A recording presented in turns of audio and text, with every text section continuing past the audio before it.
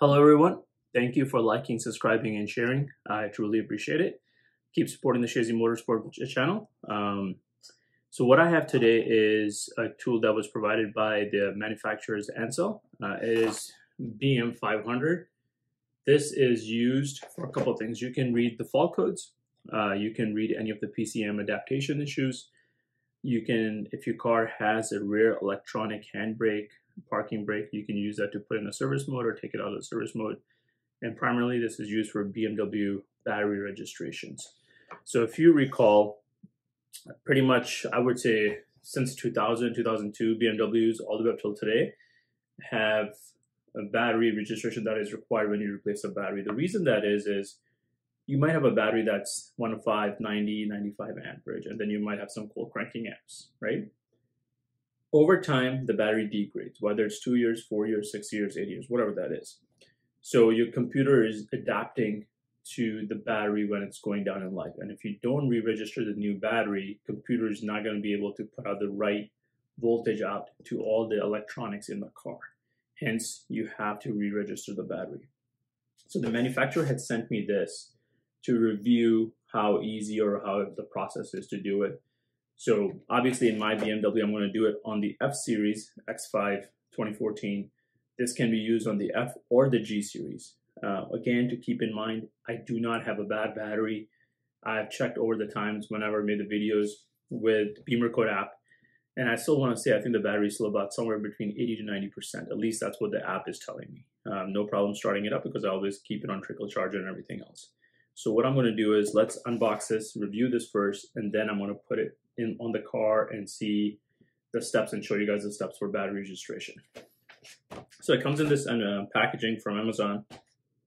And what I'll do is I'll link it down below so you guys are able to get the product and then I'll also link it down the coupon code that you can use on Amazon for this product.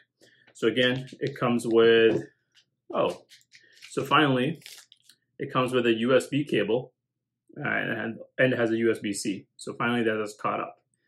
Um, if you guys look, um, I'll link it down here.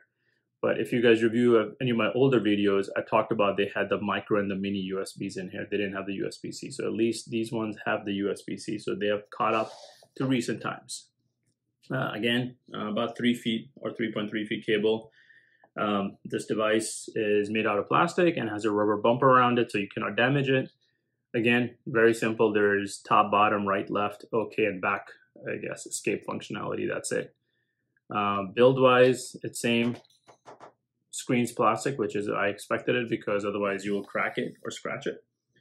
Um, and then this goes in your OBD2 sensor. So what I'll do now is we'll get in the car, plug this in, and continue the video. But other than that, um, if you look at these functions, like I mentioned, um, it has a reset. It has, you can read the fault codes. You can put the car in um, handbrake in a service mode. And then the languages it support is English, French, um, German, uh, Spanish, and Italian. Those are out of the box that it supports. The box also comes with a manual. Um, if you guys want to read this, that's fine. I'm not going to read it. I'm just going to put it away like this and keep it away. So let's get this plugged in the car and then we will go from there. Okay, everyone. So what I've done is I've plugged in the OBD2 adapter in the BMW X5. This can be used on any of the BMWs with F and G uh, series chassis. Um, so what we're going to do is once you plug it in, it powers on really fast and then it gives you this menu. So here you can also do like OBD checks like I mentioned. You, there's one specifically for BMW, then oil reset, then there's electronic parking brake reset. That there's a battery, BMS reset, ETC reset, tool setup. Obviously, tool setup is going to be very basic functionality of how what language you want, what uh, units you want, and so forth. I'm not going to go in there, not going to bore you guys. I'm going to skip it. So OBD will probably tell you if you have any check engine lights or any other codes showing up on your uh, device. So what we're going to do now is um, BMW and battery. So I'm going to show you guys battery first. Um, so nice thing with this is I can plug this in and then I can click on OK. So this is the OK button on the bottom. Um, so I turn the engine off, right? And you will notice, um, and then I can do OK start detection. Current voltage is this. And then I can do start detection. It's going to tell me to start the engine. I'm going to start the engine. And you can see it tells me, you know, the off voltage when I turned it off, what it was. And now that it's running, uh, it's at about 13.3.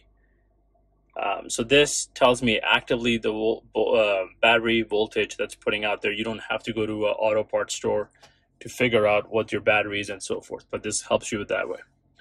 So let's come out of here. And now we're going to do is we're going to go up and we're going to go to BMW. So this will give you the list of menus. Obviously, I have the 20 pin adapter, so I'm to press OK. Uh, let me see if you guys can see this. Zoom in a bit. Okay.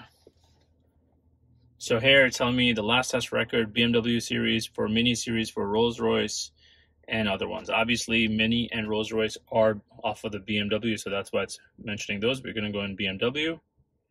And here um, it tells me uh, what series I want to pick. So obviously 1, 2, 3, 4, 5, 6, 7, and then 8, X series, Z series, and I series as well. So that's good to know. The new I, i8s and the IMs and IXs can be used as well.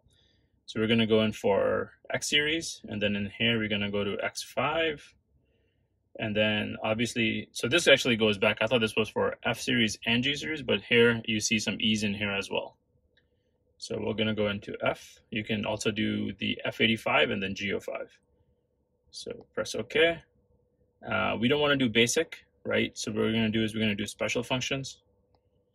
And in here, you see that for the CBS, the PCM, the battery, and the electronic parking brake.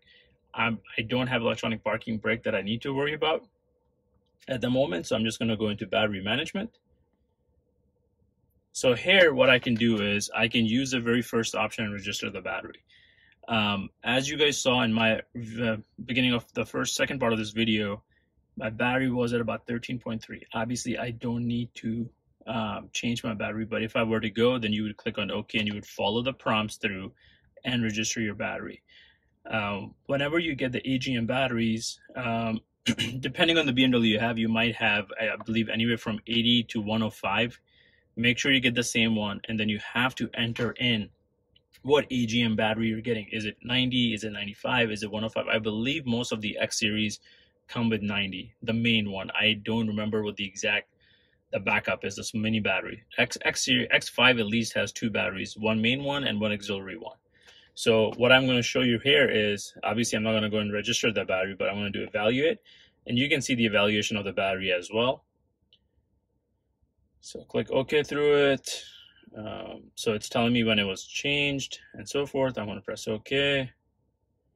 So basically what this is telling me, currently the battery is about 84%. This is what I mentioned earlier in the video when I was doing it. Um, over the last couple of years, it's been between 80 and 90% depending on the charges. So you can see one day ago was 88, two days ago was 85 and 89 and so forth, 88 and so forth. So the computer keeps track of the battery as well. Um, so this tells you um, the battery status. Obviously, if the battery is deteriorating, then this will not 100%. Just these numbers alone will tell you the starting of it, what uh, modules are working and not working. Some of the modules within the BMW are very battery uh, intuitive and they take a lot more battery power versus the smaller modules. So this is that. Uh, we can come out of here. Um, same thing in here. So remember, this is where you're going to register your battery and that's what you're going to use. And then obviously this is just resetting it uh, in here. If you wanted to, you can go reset it. I don't want to do that, so I'm going to come out of here. And then obviously, if you were to go in F85, then you can also do all the functions for F85 or G05 as well. Um,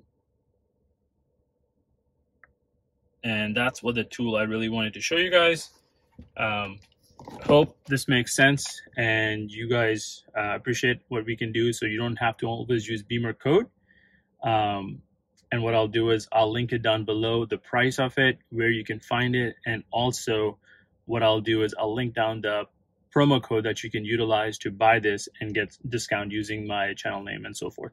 But i'll link it down below. If you have any questions comments please put them down below. I'll be happy to answer. Thank you